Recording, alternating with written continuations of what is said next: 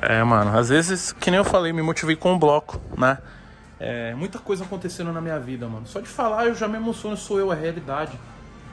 Eu vi, é repetido do vídeo anterior, mas eu vi meu tio construindo, meu pai construindo, não tinha nada, não era nada, e nunca invejei, nunca invejei e nunca cobecei, e nunca falei, mano, o que é do meu pai é meu, não. O que é do meu pai é do meu pai, o que é do meu tio é do meu tio, o que é da minha mãe é da minha mãe. Eu tinha um afeto mais próximo da minha mãe porque a gente conquistou junto. A gente evoluiu junto o progresso. Então, eu falei, mãe, vamos construir as casinhas de aluguel. Então, tudo que eu tenho lá na minha goma foi eu e minha velha que construiu. Né? Minha mãe ganhou um dinheirinho do, do plano Collor, uma parada que. Minha mãe é de idade já, tem quase, tinha quase 70 anos. Então, ela tinha um dinheiro na poupança e na época o governo segurou. Depois de anos e anos soltou. Minha mãe chegou em mim e falou: Filho, eu tenho essa moeda, né? Vamos fazer o que com isso? Eu falei, mãe, vamos fazer as casinhas de aluguel. Ela, é isso, é isso. Então a gente morava em três cômodos, galera. Depois desse plano, eu vendi um carro, eu tinha um Corsinha, e a gente meteu o macho e construiu. Então, tudo na minha vida é feito de progresso. Eu nunca fui pobre de passar fome, que nem alguns comentários o cara paga de favelado, eu nunca fui favelado, mano. Sempre tive minha mãe por trás dando suporte. Mas igual sempre falo, minha mãe, trabalhadora igual a mãe de vocês. Então eu sei muitas coisas que vocês passam hoje. Sei o que é ter necessidade de ter um tênis. Eu não sei o que é passar fome, mas eu não sei se minha mãe sabe. Porque eu sempre tinha lá minha calabresa, minha salsicha. Mas eu não sei se minha mãe deixava de comer pra eu ter, tá ligado? Porque na época ela sempre chegava com um kinder ovozinho. E minha mãe nunca foi rica, ela ganhava um salário mínimo, mínimo do mínimo. E hoje a gente tem o que tem graças a ela. Sou muito graças. Então tudo que tem aqui hoje é graças à mansão. Não, tudo que eu tenho hoje é graças a Dona Amélia. Mansão Maromba veio por ela. Tudo que está sendo construído aqui é por ela. Inclusive os mesmos pedreiros que estão construindo aqui são os que construíram minha casa, tá ligado? Então, ó, pega a visão. Estamos mexendo em tudo, mano, reformando. E na realidade essa casa aqui era para ser do seu Jair, né? Mas a gente deu uma pausa, vamos respirar. Tô reformando, se for para ele é bênção dele, vai ter uma casa com milhões de quartos, tudo reformadinha. O que é de Deus é no tempo de Deus, já disse o seu Jair, nosso vizinho. Então estamos construindo, não para, olha aí, pega a visão. E aí, pai, não para? Que não pode parar, né, pai? Já construiu. Hã? O Crazy? É. Você falou pra ele que você ia fazer aquele negócio lá? Ah, o Zé pode. É, o ponto negro ele mandou colocar, só tem que agilizar a cerâmica, né? Que tem mais que não vai dar não pra fazer aqui. Esse quartinho até colocar a cerâmica. Vou, vou desenrolar pra tu hoje. Quantos metros tem? Ao todo deu 19 metros pra fazer esse, esse cantinho aqui também. O chão, né? Vou comprar, vou pegar pra tu. Vou desenrolar isso agora. Nós estamos mexendo em tudo aqui, mano. Marcha nos trampos.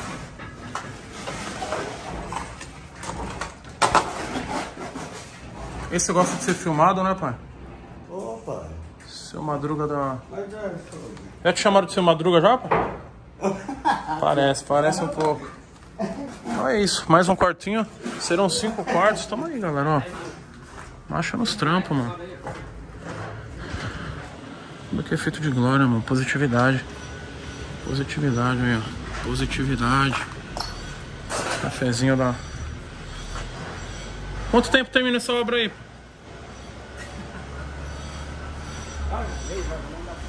Quanto tempo? Um mês, é isso. Tem dinheiro, por isso que vamos trabalhar. Tudo é feito de dinheiro. Fala que não é, não é dinheiro, não, não. Dinheiro, Félix. Mano, que colonia fraca é essa, hein? Pouco. Ver aqui uma casa antiga, galera.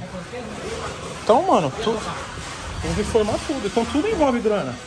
Não, não envolve, envolve, envolve trabalho, envolve positividade, tudo por like, tudo por fama, não. É consequência do nosso trabalho. É isso, resumo é esse. Gravo vídeo, faço o que eu amo, monetizo e trampo, macho. Né? Então, tá sendo construído aí, reformando na realidade aí, né? É, mano, tô na minha laje, cara.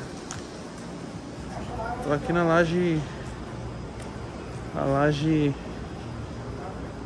Da casa que a gente tá reformando, ó. Que legal o espaço que a gente tem. Lajezona monstro. Toda trincada, a gente vai dar uma reformada aí. Pega a visão. Só progresso, felas. Só evolução. Na marretona aí que os caras me zoam no Instagram. Fazer um projetinho de laje. Mansão maromba, fi. Chama os pedreiros aí, pai. Então é isso, galera. Vídeo novo. Então aí, progresso da laje. Progresso, vou. Pra não vazar mais, né? Deixar tudo certinho.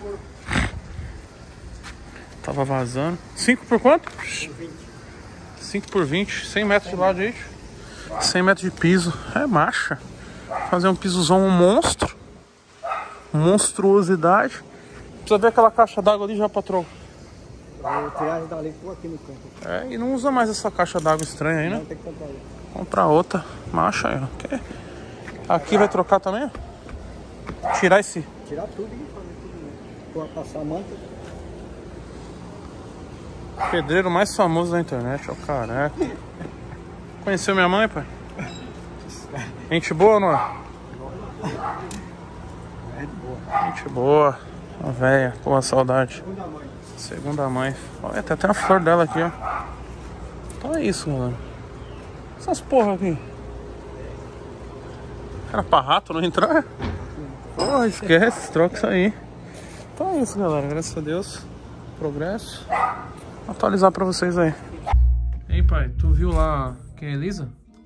É, mano, dei uma pesquisada. O que você achou? Ah, é isso aí, né, mano? É o trabalho dela. Não tenho nada a declarar, Nada? tá ligado? Dá pra cantar uma música pra ela? Cantar uma música pra ela. O que, que você acha que, pô, uma motivação? O que que acha? Que música, o Crazy, você acha que? Ah, acho que aquela música que ele cantou lá, romântica lá, acho que ia ficar boa pra ele. É? romântica. Aquela Será que ela romântica. combina com romântico? Ah, acho que ficaria legal, pô. Querendo ou não, é o trabalho dela, mas ela tem sentimentos, né? É uma mulher, tem sentimentos, Pode pô. crer. Mas ele toca no coração dela, entendeu? Tá pronto? Vamos lá, tô preparado. É isso mesmo? Dá pra analisar o shape dela também depois da música? Eu analisar o shape dela. Tá preparado? Tem... Você acha que a- aqui é tipo uma. Já assistiu aquele filme lá que o. Karate Kid, né? Que o cara. Karate Kid? Isso, é o que, que o, o- o tiozinho fica. Daniel San e o- Daniel San. Então aqui você vai passar por tudo, pai. Pra lá na frente você fala: caraca, aquela lição que o Toguro me deu lá de analisar o shape vai serviu pra alguma coisa. Lógico que eu analiso o shape dela, vai ser uma honra. Tá ligado? Você prefere analisar primeiro ou cantar Eu primeiro? prefiro analisar o shape dela do que fazer uma música pra ela. Não, não fazer, mas cantar uma pra ela. Ou cantar, mano, uma música pra ela, eu não sei que música cantar pra ela. tá Canta a que você fez pra Maria, pra ver o que ela acha, a opinião dela. Pode crer. Pode ser? Eu posso receber a opinião dela. Isso. Ok, Você sabe ela de cabeça a música? Lembro. Vou pedir pra ela descer aqui então. Sai, Yuri! Manda a Elisa descer aí.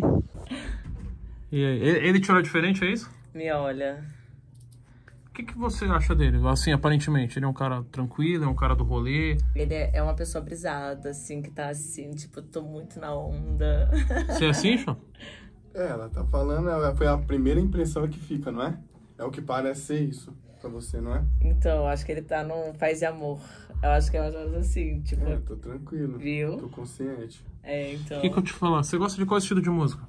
Eu gosto de deep house, eu gosto de low, eu gosto de funk.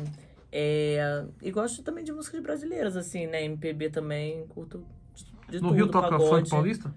Toca, toca o, o Kevin, toca bastante. MC toca Kevin ou Kevin Chris?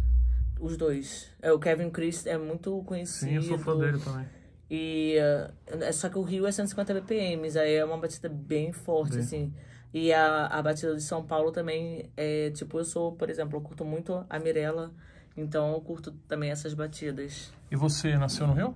Sou carioca, tenho família portuguesa, lá pra trás tem espanhola, mas eu sou carioca.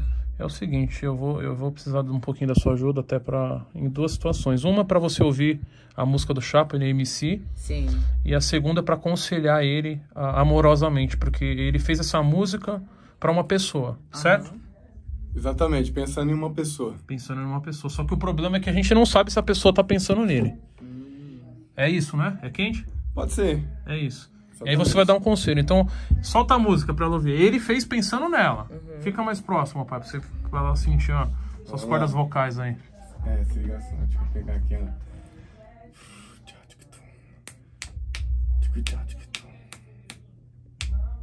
Menina louca, menina maluca, independente ela é livre. Porta Chanel e de Louis Vuitton se torna madame muito chique. E o maloqueiro trajado de Nike, usando bombeta de crochê. Fechado com funk de São Paulo e preparadão pra fechar com você. Cabelo rosa diferenciada, siliconada, ela é tudo. De 0 a 10 eu vou dar 10 pra ela, porque ela merece o mundo. Mas se você não quiser meu amor, meu bem, o que eu posso fazer? Eu posso até ficar com outra. Mas no fundo eu só quero você. E quando a saudade não cabe no peito, ela transborda pelos olhos. A ansiedade é tanta. Que eu não tiro os olhos do relógio, tic-tac na mente. Bola um baseado pra ficar ciente. Não é que eu esteja carente, é que quando eu te vejo, tu muda minha mente. Se liga no papo com tu, tu, tu, tu. Que através da canção eu mostro minha expressão. E assim você descobre o que tá dentro do meu coração. E quando a saudade não cabe no peito, ela transborda pelos olhos. A ansiedade é tanta. Tipo isso, tá ligado, mano? Ah, que legal. A declaração é pra uma menina do cabelo rosa. Tá em cima. Né? Você viu alguém de cabelo vermelho por aí? Eu vi uma menina de cabelo rosa. É que eu acho que ele falou assim. Não sei se é essa menina de Essa cabelo aí, rosa. essa mesmo. Sério? É bonita ela, você viu por aí? Bonita. Isso que é o problema, né, pai? A beleza, né, pai? Por que a beleza é um problema? Pra ele, ele falou que ela é bonita, né? E. Não, não é um problema. O problema é que mexe com o coração do menino. É, tá ligado não? Então, mas aí é uma coisa. A mulher tem que se enfeitar, né? Tem que deixar os homens assim, tipo, né? Aquela coisa hipnotizante e tal. Aquela curiosidade. mas. Mas ela já que natural, já acho ela linda, tá ligado? Ela é bem bonita. Eu achei bem bacana o astral dela também. Achei ela com uma energia muito boa. É quente. Mas tipo assim, eu sou do cara, tipo assim, vai vendo. Conselheiro amoroso. Você foi Se conselheiro eu amoroso? demonstrar- Larissa? Eu sou conselheira sexóloga. mas amorosa também. Mas o pessoal me pergunta muito sobre a parte Tá sexual. bom. Então você, você pode. Você pode... Então, se a gente tiver uma conversa, uma consulta, você vai potencializar o meu sexo, é isso? Não, potencializar. Verdade, as pessoas têm muita curiosidade é, por coisas assim que elas querem fazer e não fazem por tabus. E aí as pessoas perguntam muito pra mim, porque eu naturalizo muito o sexo. Eu acho que o sexo não é tabu e pode ser falado de uma forma muito natural e fácil. Ô, Nara!